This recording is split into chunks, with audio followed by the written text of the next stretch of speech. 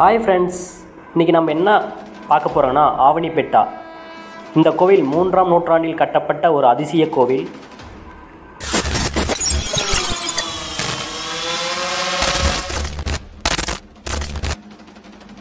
இப்போ நம்ம பார்க்குறது வந்து ஆவணிப்பேட்டா. இந்த ஆவணிப்பேட்டா வந்து எங்கே இருக்குன்னா நம்ம கோலார் டிஸ்ட்ரிக்டில் இருக்குது இந்த ஆவணிப்பேட்டா. இது வந்து மூன்றாம் நூற்றாண்டில் கட்டப்பட்ட மிக பழமையான மிக அற்புதமான ஒரு டெம்பிள் தான். இந்த ராமலிங்கேஸ்வரா டெம்பிளும் சீதாதேவி டெம்பிளும் தான் பார்க்க போகிறோம் இங்கே பார்க்குறீங்களா இப்போ ஃபஸ்ட்டு நம்ம பார்க்குறது வந்து என்ன? நுழைவில் நுழைவாயில் வந்த ஃபஸ்ட்லேயே ஒரு சின்ன டெம்பிள் இருக்குது அதெல்லாம் க்ளோஸ் பண்ணிகிட்ருக்காங்க இருக்காங்க. இங்கே வந்து வேஸ்ட் மெட்டீரியல் எல்லாமே இங்கே யூஸ் பண்ணிகிட்ருக்காங்க இருக்காங்க. இங்கே ஒரு மண்டபம் பார்க்குறோமா இது வந்து கஞ்சி மண்டபம்.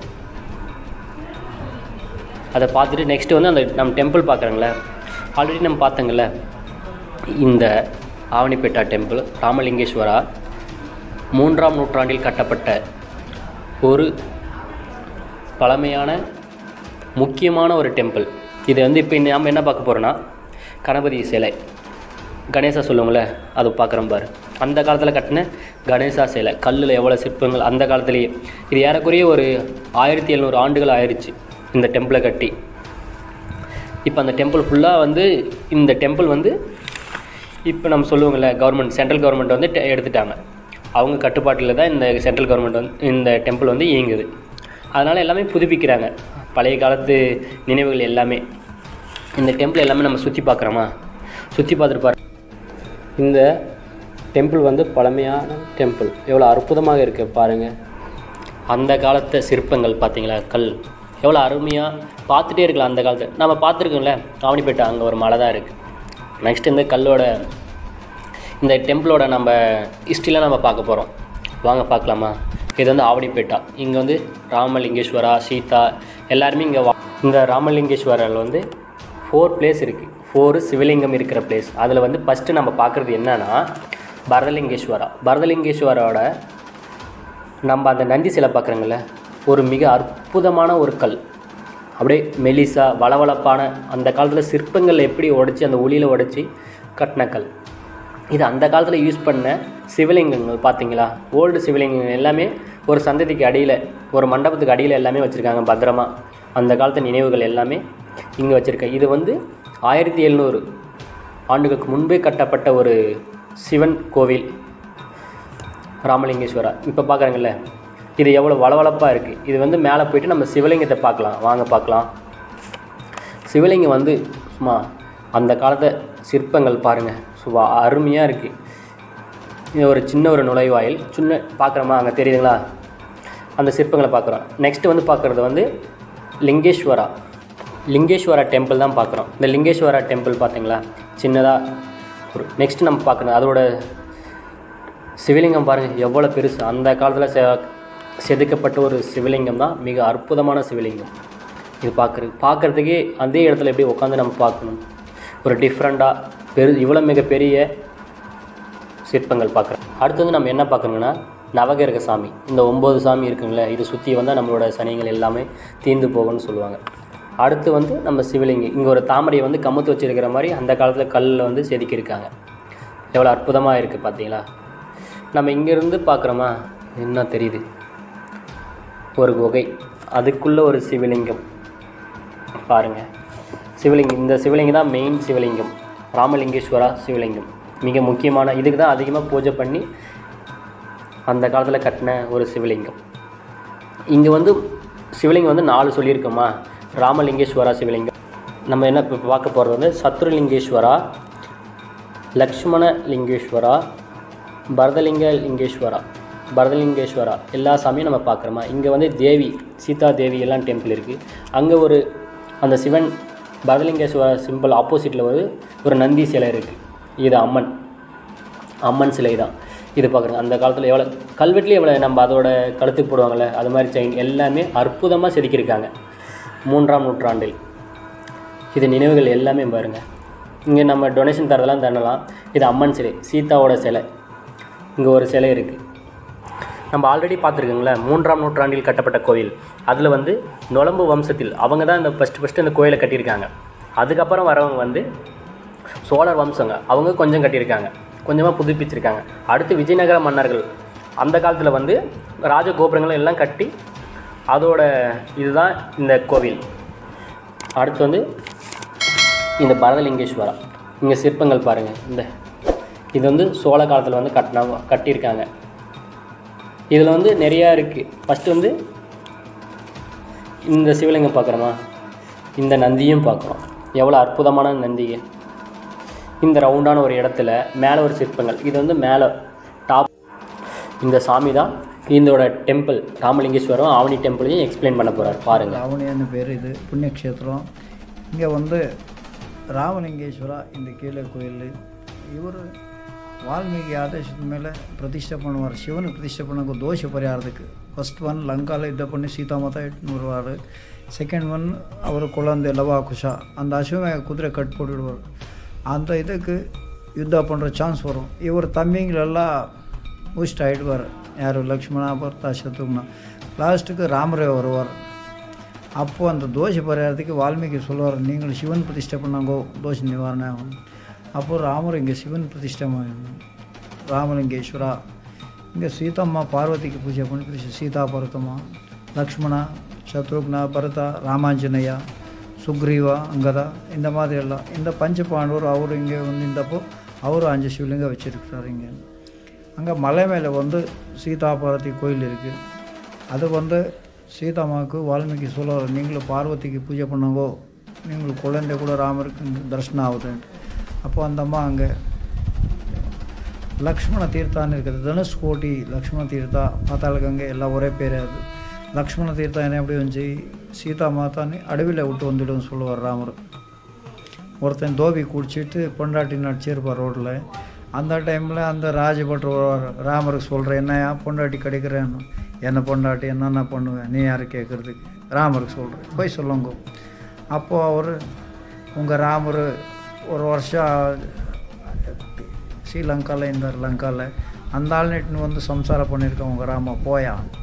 அந்த வார்த்தை கேட்டு தம்பின்னு கூப்பிட்டு அடவியில் விட்டு வந்தது சீதா அந்த டைமில் அந்த அம்மா ப்ரெக்னென்ட் சீதா மாதா லவாகுஷா ஜனமாக இல்லை. அங்கே தனுஷ்கோட்டியான்னு சொன்னான மேலே. அங்கே எடுத்துன்னு வந்து விடுவார் ரத்தத்தில். அப்புறமா அந்த அம்மா கேட்குறது என்னப்பா எங்கே எடுத்து ஒன்று உண்டு? அண்ணா சொல்லியிருக்காருமா உனக்காரு அந்த அம்மா மூர்ச்சை வந்து எடுக்கிறது அப்போ இவர் என்ன பண்ண முடியும்?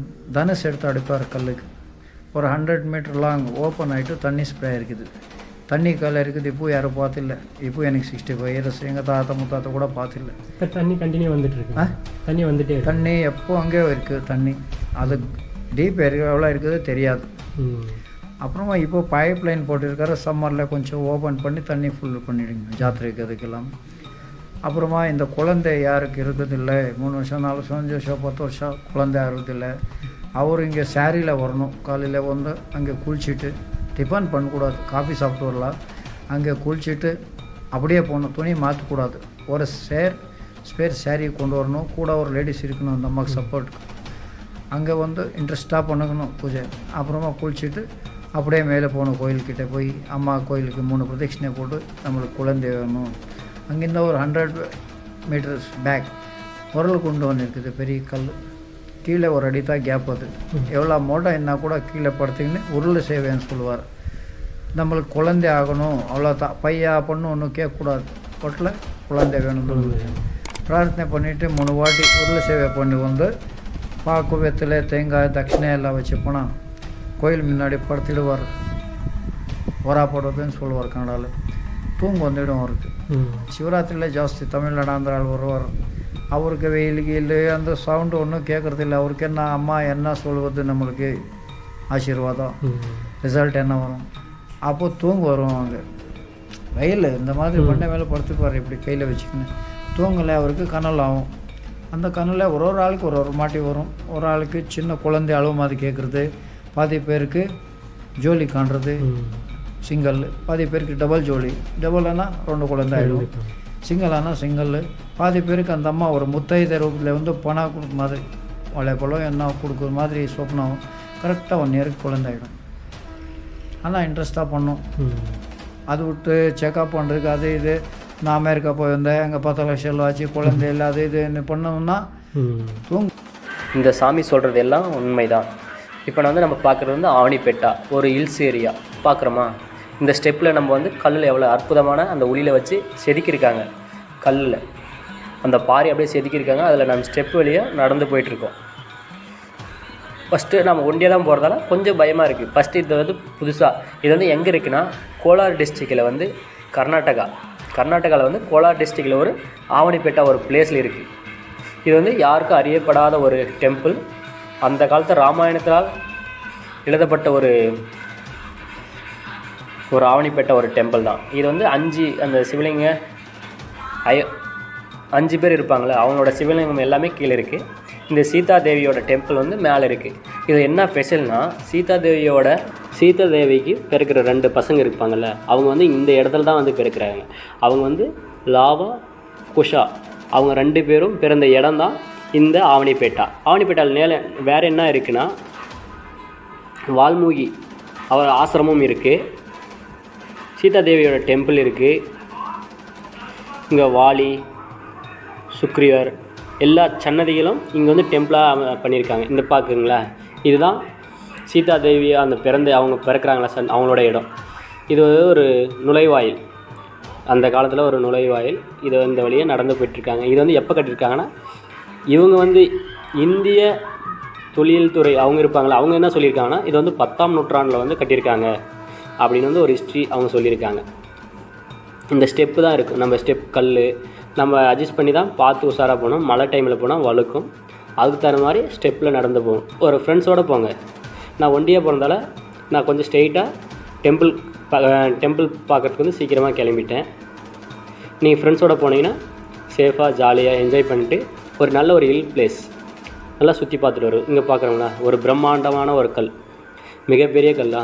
அதுக்கு ஒன்றுக்கு மேலே ஒன்று எப்படி இருக்குது இது அந்த காலத்தில் இருக்குது இங்கே ஆஞ்சநேயர் வந்து பாரு ரா ராமன் சீதை இங்கே வந்து அது இங்கே ஒரு தண்ணிலாம் இருக்கா? இங்கெல்லாம் வற்றாத தண்ணீர்லாம் இருக்குது இங்கே ஒரு பாறை பாரு. கீழே ஒரு சப்போர்ட் இங்கே ஒரு சன்னதிகள். இதுதான் அந்த ஆசிரமம். அது என்ன ஆசிரமம்னா வால்மீகி ஆசிரமம் தான் அந்த பிளேஸில் இருக்குது நெக்ஸ்ட் வந்து அதை பார்த்துட்டு நம்ம மேலே வந்து தேவி சீதா பார்வதி அந்த டெம்பிளர் பார்க்குறதுக்கு வந்து நம்ம மேலே போயிட்டே இருக்க ஸ்டெப்பில் யாருமே இல்லை கண்ணுக்கு தூரம் வரைக்கும். நாம் மட்டும் தனியாக போயிட்டுருக்கோம். நான் பக்கம் வந்துட்டேன்னு நினைக்கிறேன். ஸ்டெப்பில் போயிட்டு இருக்கும்போது உஷாராக போகணும் பார்த்துட்டு. ரிட்டன் நம்ம திரும்பி பார்க்கும்போது பாருங்கள் எவ்வளோ கீழே எவ்வளோ மேலே வந்திருக்கும். இப்போ சீதா தேவியோட டெம்பிளை பார்க்க பக்கத்தில் வந்துட்டோம். அது பக்கத்தில் வந்து ஃப்ரண்ட்டில் பார்க்குறோங்க பாரு உள்ளே. இவ்வளோ அந்த காலத்தில் கட்டின ஒரு சீதா கோவில். பத்தாம் நூற்றாண்டுன்னு சொல்லியிருக்காங்க. இவங்க ஏஎஸ்ஐ அதன்படி ஒரு பத்தாம் நூற்றாண்டில் கட்டின ஒரு சீதா தேவியோட டெம்பிள் தான். உள்ளே வந்து எல்லாமே மெட்டீரியலுக்கு ஒரு சின்ன கோவில் தான். இவ்வளோ உயரத்தில் வந்து ஒரு சின்ன கோவில் கட்டியிருக்காங்க. இதுக்கு வந்து ஒரு இரண்டு வழி இருக்குது இது வந்து இந்த வழி வந்து க்ளோஸ் பண்ணியிருக்காங்க. இந்த ஃபோட்டோவில் பார்க்குறாங்களே இப்போ வந்து அது உள்ளே நம்ம போய் பார்க்குறதால உள்ளே இருக்கிற சாமி வந்து இந்த சீதா தேவி தான். இது வந்து சாமி வந்து சக்தி வாய்ந்த சாமி. இப்போ யாருக்காவது குழந்தை வந்து இல்லைன்னா அங்கே கீழே நம்ம தண்ணி பார்த்தோம்ல அதில் குளிச்சுட்டு அதையே புடவையில் வந்து மேலே வந்து சாமியை வந்து கும்பிட்டோம்னா அந்த சன்னதியில் உட்காந்து நம்ம தூக்கம் வருமா? அங்கே தூங்கினோன்னா நம்ம கனவில் வந்து குழந்தை வர்றது இந்த சீதாதேவி வந்து காட்டின ஒரு ஹிஸ்ட்ரி இருக்குது இங்கே பேய் பிசாசு அது மாதிரி பிடிச்சிருந்தா இந்த பாறை இருக்குல்ல இந்த பாறைக்கு நடுவில் ஒரு வழி இருக்குது அந்த வழி வழியே போனோன்னா அந்த பேய் வந்து விட்டுரும். அது மாதிரி ஒரு ஹிஸ்ட்ரியும் இருக்குது இப்போ சுற்றி பார்க்குறேங்க பாரு இந்த வில்லேஜ் எல்லாம் ஆவணிப்பேட்டா எல்லா வில்லேஜும் நம்ம பார்க்குற மாதிரி இருக்குது பாருங்கள் எல்லாமே நம்மளுக்கு கீழே தான் இருக்குது பெரிய பெரிய வில்லேஜ்லாம் இருக்குது எல்லாம் பசுமையாக இருக்குது இந்த இடத்துலேருந்து பார்க்குறதுக்கு. இந்த இடத்துல வந்து அப்படியே கூலிங்காக நம்ம மேகத்துக்கு பக்கமாக இருக்கிற மாதிரி இருக்குங்களா மேகமூட்டம். இந்த டெம்பிளை வந்து நம்ம சுற்றி பார்க்குறோம். பின்னாடி பாருங்கள் கல்லால் சூழப்பட்டது. கல் இருக்குது அந்த கல் அந்த கல்லாம் பார்க்குறோமா? இந்த கல்லை பார்த்துட்டு அப்படியே நம்ம நடந்து போயிட்டுருக்கோம். இப்போ கீழே இறங்கலாம். சுற்றி பார்க்கும்போது பாருங்கள் கொஞ்சம் சேஃபாக இருங்க. இது மாதிரி இடத்துல வலிக்கு விழுந்தோம் அவ்வளோதான் திருப்பி நம்ம ரிட்டன் வந்து கிளம்புறோம். இந்த ஸ்டெப் வழியே திருப்பி நம்ம ரிட்டன் போகும்போது தான் எல்லாமே பார்த்துட்டு போகிறோம் இப்போ நம்மளுக்கு முன்னாடி வந்து யாரோ நடந்து போயிட்டுருக்காங்க. அவங்கள பார்த்துட்டு அவங்களுக்கு பின்னாடி நம்ம ஃபாஸ்ட்டாக நடந்து போகிறோம் இந்த டெம்பிளில் வந்து இந்த ஆவணிப்பேட்டாவில் வந்து நிறைய அதிசயங்கள் இருக்குது இது யாருக்கேன்னு தெரியாமல் இருக்குது நீங்களும் உங்களோட ஃப்ரெண்ட்ஸ் எல்லாம் சேர்ந்து இது மாதிரி பிளேஸ்க்கு வந்து பார்க்கலாம். ஒரு வீக்கெண்டில் இங்கே அதிகமாக கூட்டலாமல் இருக்காது. இது வந்து எப்போ வந்து ஃபெஸ்டிவல்னால் சிவராத்திரி. அது மாதிரி டைமில் தான் ஃபெஸ்டிவல் பெருசாக பண்ணுவாங்களாம். டென் டேஸ் வந்து இந்த ஃபெஸ்டிவல் வந்து பண்ணிகிட்ருப்பாங்க ஸ்டெப்பில் இறங்கி போகும்போது பாருங்கள் எப்படி குகைலாம் இருக்குது ஆனால் நல்லா இருக்குது இந்த பிளேஸ் வந்து அருமையாக இருக்குது இந்த பாறை பாருங்கள் இந்த பாறைக்கு நடுவில் வந்து நம்ம நடந்து போயிட்டுருக்கணும் பார்த்து கொஞ்சம் சேஃபாக நடந்து போகணும். இந்த பாறையில் நடந்து போகிறோமா நல்லா இருக்குல்ல? இந்த ரெண்டு பாறைக்கு நடுவில் தான் நம்ம நடந்து போகிறோம் இந்த வழியில். கொஞ்சம் சேஃபாக இருங்க. இந்த ஆவணிப்பேட்டாவே ஹிஸ்ட்ரியை பாருங்கள் இந்த மாதிரி உங்களுக்கு பிளேஸ் வரணும் பார்க்கணுன்னா என்னோடய லொக்கேஷன் கொடுக்குறேன் டிஸ்கிரிப்ஷனில் அதை கிளிக் பண்ணிங்கன்னா இந்த ஆவணிப்பேட்டாவுக்கு வந்து பார்க்கலாம். உங்களோட ஃப்ரெண்ட்ஸில் இந்த வீக்கெண்டில் பெங்களூரில் இருக்கிறவங்க மோஸ்ட்லி இந்த மாதிரி பிளேஸ்க்கு வந்து சேரலாம். பக்கமாக தான் இருந்து பெங்களூர்லேருந்து நம்ம ட்ரெயின்லேருந்து வந்தாங்கன்னா கொஞ்சம் ஈஸி இங்கே போக்குவரத்து வசதி வந்து கொஞ்சம் கம்மி தான் பட் இனி பைக்கெல்லாம் வந்தாங்கன்னா நல்லா வரலாம். பாருங்கள் இந்த ஸ்டெப் கல்லுலாம் பார்க்குறாங்களே? எவ்வளோ வந்து நல்லா இருக்குது இந்த வீடியோ உங்களுக்கு பிடிச்சிருந்தா நிமாட்டிக் விஜய் சப்ஸ்கிரைப்